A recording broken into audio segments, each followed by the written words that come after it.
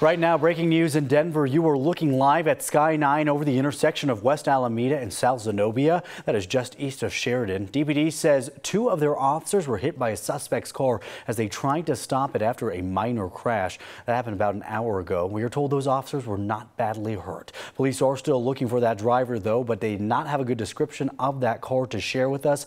Anyone who does know anything or might have been in that area is asked to call Denver police.